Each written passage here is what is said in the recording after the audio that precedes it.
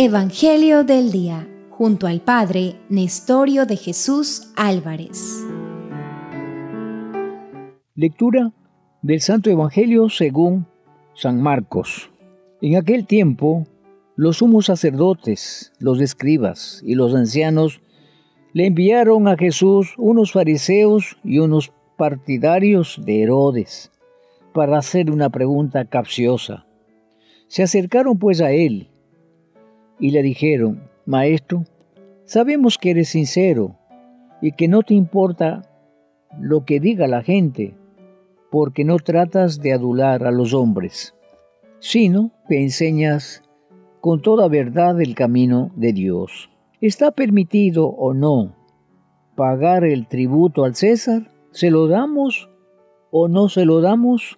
Jesús, notando su hipocresía, les dijo, ¿por qué me ponen una trampa? Tráiganme una moneda para que yo la vea. Se la trajeron y él les preguntó, ¿de quién es la imagen y el nombre que lleva escrito? Le contestaron, del César. Entonces les respondió Jesús, dad al César lo que es del César y a Dios lo que es de Dios y los dijo admirados. Palabra del Señor. Gloria a ti, Señor Jesús.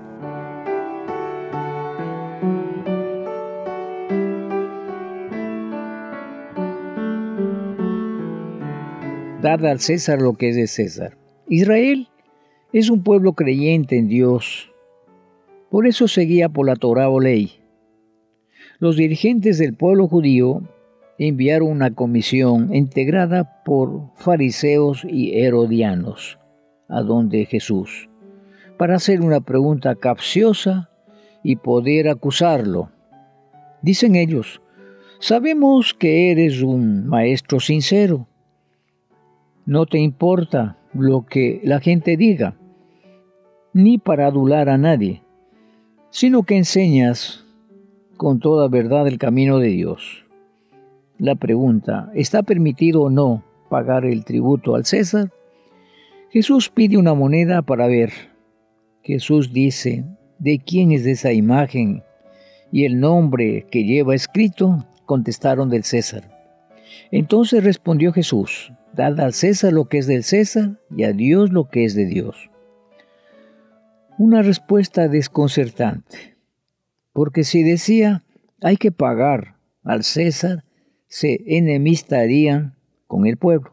Si por el contrario decía, no hay que pagar al César, podían acusarlo de revolucionario. Es una respuesta sabia, para no confundir lo, el religioso con lo político, como ocurría en tiempo de la monarquía, por ejemplo, con el rey David, que fue elegido por Dios a través de Samuel. Separa lo político con lo religioso, Jesús. Hace muchos años se identificaba un partido político con lo religioso. Los demás eran contrarios. Hoy ya no se da ese caso. El cristiano actual tiene que cumplir los deberes del Estado y los deberes para con Dios. No olvidemos, dad al César lo que es de César y a Dios lo que es de Dios. Amén. Hemos escuchado el Evangelio del Día por la voz de María 88.1 FM.